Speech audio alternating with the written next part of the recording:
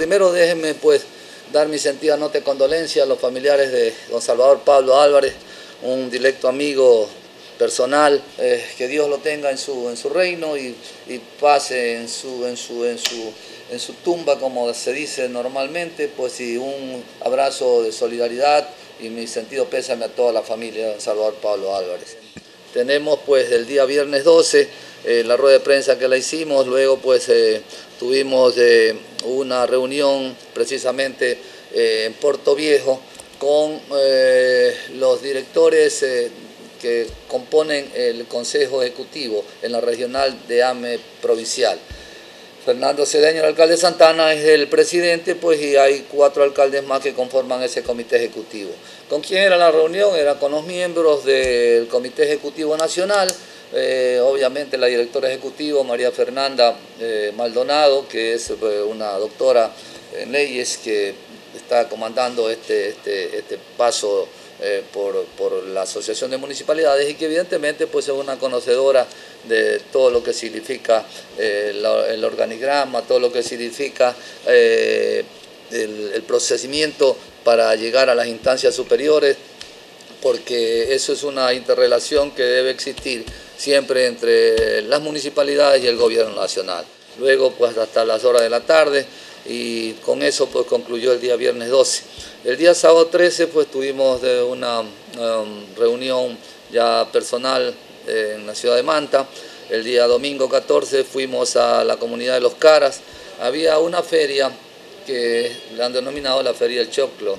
Eh, esto pues está institucionalizándose, ya es el segundo año y esperemos que continúe, ¿no? Eso da oportunidad para un poco eh, asociarse a la comunidad, un poco pues tener relaciones eh, de fraternidad, de amistad, disfrutar, obviamente también reconocer todo el arte culinario de las señoras que trabajan en esta, feria y que hacen diferentes platos. El lunes pues 15 de abril, eh, actividades de despacho, pues lunes es un día bastante fuerte eh, porque había cuenta que el día viernes pues el último día laborable, luego de eso pues usted tiene que eh, ponerse al día en todas las actividades y la gente aprovecha para salir un poco a varias actividades, ¿no? Algunos vienen a la feria, sobre todo en las parroquias, y eso aprovechan también para hacer algunas gestiones a nivel de la institución municipal. El día martes, pues 16, eh, tuvimos una visita de los representantes del MIPRO, ¿no? MIPRO es el Ministerio de Productividad, eh, acompañados de delegados de Senagua y también de eh, unos funcionarios del municipio de Chone. ¿Cuál era el objetivo de esta reunión? Eh, tengo entendido que ustedes conocen y la ciudadanía, pues si no conocen le, damos la noticia, que hay la posibilidad, mejor dicho, así está designado como un proyecto, hacer, hacer un centro de acopio, de faenamiento en la ciudad de Chone para el tema de matanzas de reses, de bovinos, porcinos, y obviamente pues eh, esto distribuirlo en los cantones que están cercanos, ¿no? es un centro regional. Entonces el MIPRO como ente rector de estos, de estos procesos o de estos proyectos está eh, un poco socializando con los municipios, capaz de que eh, los municipios se interesen del tema. Es un tema un poco delicado si se tiene en cuenta que la idiosincrasia de nuestra gente con sus mataderos o con sus camales, siempre pues se conlleva una particularidad. Cada sector de la provincia, cada cantón tiene sus peculiares costumbres, tiene sus tradiciones en cuanto a la matanza. En el caso nuestro, pues hemos tratado de mejorar el camal, hemos eh, hecho algunas adecuaciones, hemos eh, corregido ciertos errores y evidentemente estamos, no es lo mejor, pero estamos funcionando de forma, creo yo, eficiente. ¿no? complementado evidentemente con el otro paso que es el mercado donde también existen las cámaras de, frío que conllevan a que la cadena de frío del, ganado que se despota pues llegue en condiciones óptimas.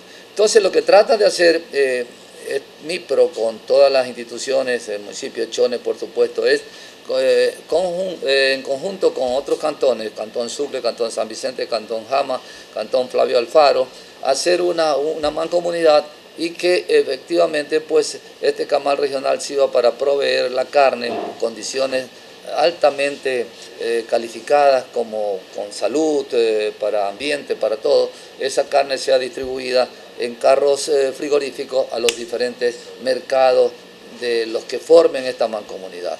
Entonces esa reunión pues abordó muchos temas, pero fundamentalmente la posibilidad, y manifestada así de mi parte, de que a través de, gente especializada se socialice el tema con los municipios y evidentemente quiénes son los actores principales. ¿Quiénes son los actores principales de, un camal? Pues evidentemente quienes hacen esta faena y quiénes son los comerciantes de, este gran negocio, negocio, no sé si será gran negocio o al negocio para subsistir, de este negocio del expendio de la carne. ¿no? Entonces, esperemos que las cosas se vayan dando y la gente tenga la posibilidad primero de tener un, ya camales de alta tecnología y al mismo tiempo con todas las normas de seguridad en cuanto a salud, porque es necesario que la gente consuma estos alimentos, pero en una forma que garantice eh, que está en, buena, en buenas condiciones. El miércoles 17 de abril, precisamente por eso no hicimos reunión, no hicimos sesión, ni hicimos la rueda de prensa, tenía una reunión del Consejo Ejecutivo de AME. ¿no? El Consejo Ejecutivo de AME que eh, eh, eh, lógicamente pues rige las políticas de la entidad eh, municipal, o sea, de los organismos municipales, de todas las asociaciones provinciales, las regionales. En estos momentos, todos los proyectos de agua y alcantarillado y residuos sólidos que entran dentro del plan de prosaneamiento están en un compás de espera por razones que no las explicamos todavía, ¿no? O sea, el Banco del Estado le echa la pelotita a Finanza, Finanza le echa la pelotita al Banco del Estado. Es decir, no con esto es inculpación, pero sí es una realidad en cuanto a que en la última Asamblea Nacional que tuvimos en la provincia de Santa Elena, la gerenta general del Banco del Estado y el señor ministro de Finanzas, por su propia iniciativa, determinaron que en marzo, mes de marzo, empezaban todos estos procesos. En el caso del municipio de Sucre, pues como ustedes saben, nosotros tenemos ya en la bolsa de, todos los proyectos que tiene el Banco del Estado, el proyecto de alcantarillado sanitario y pluvial de Bahía Leonidas Plaza y el alcantarillado de agua de las poblaciones de Charapotó, Pueblito y Cañita. Es decir, proyectos que dan más allá de 12 millones de dólares, que significa una cantidad importantísima, habida cuenta de la capacidad que tenemos nosotros de endeudamiento. Pero si nos dan el 75%, pues yo creo que es un, un gran paso para poder eh, determinar con exactitud, una vez que nos den el, cupo de endeudamiento, poder con exactitud saber a qué proyecto podemos incursionar. Eso puede, más allá de, otras consideraciones, el seguimiento para ciertos problemas eh, que se están siguiendo en la Asamblea Nacional, la revocatoria de los mandatos, una serie de leyes que posiblemente hay que hacer algunas reformas y que se está trabajando en, esa, en, esa, en ese campo. ¿no? Eh, eso pues eh, obviamente conlleva una serie de, actividades en AME, además de desde allí partir hacia otros ministerios para tener la interrelación, como les digo, ¿no? este es el nexo, este es el puente. Entonces, con esa eh, cualidad que tiene AME, también estamos muy preocupados por el tema de la subjefatura de tránsito, Hemos pedido una cita a través de AME con la señora directora nacional, eh, también con el Ministerio de Salud para los temas que tienen que ver con eh, subcentro de Charapotó fundamentalmente, también el subcentro o el centro de salud de aquí de Bahía de Caracas. El día de hoy vamos a tener una reunión en Puerto Viejo en las próximas horas, precisamente con la señora viceministra que viene a un tema puntual del dengue, pero vamos a aprovechar para hacer las gestiones referentes pues, a todos estos temas que les he mencionado.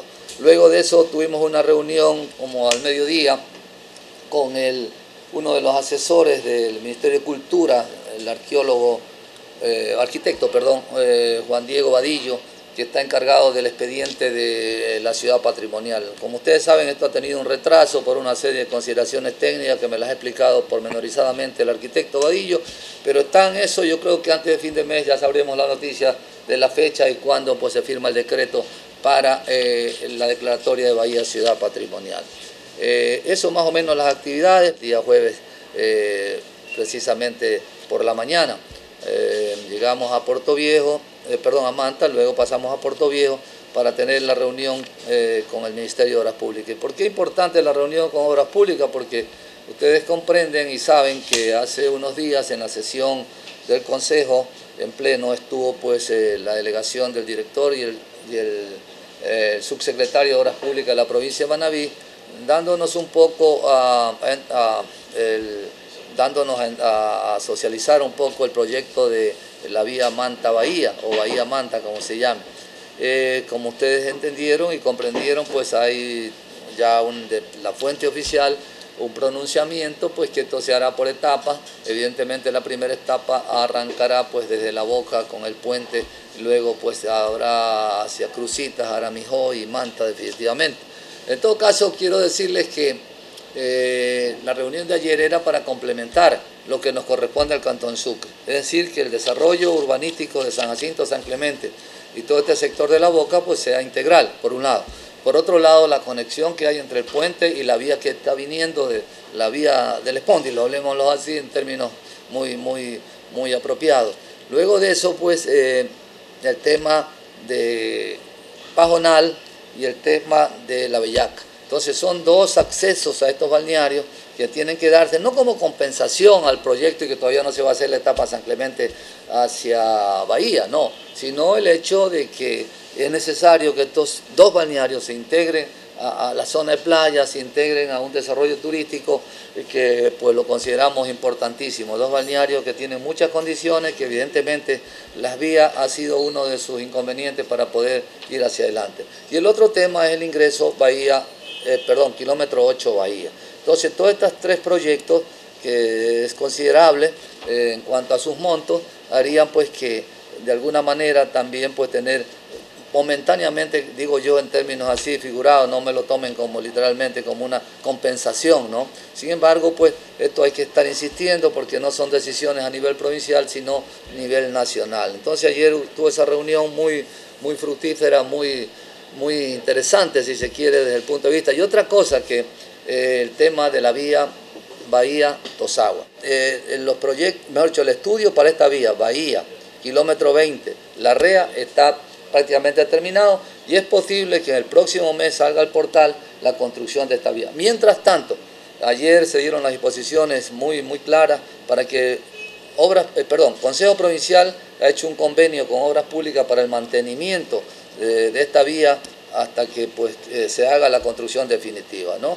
Entonces estamos eh, por buen camino en todo esto lo que circunda nuestra ciudad. Eso pues el día de ayer, luego pues eh, tuvimos una reunión muy importante en Semplade, que esa era otra cosa que ustedes deben conocer, toda la planificación que está haciendo el país. Es impresionante, ¿no? Ya cómo se trabaja en, en este gobierno y en lo que vendrá los cuatro años más de este gobierno.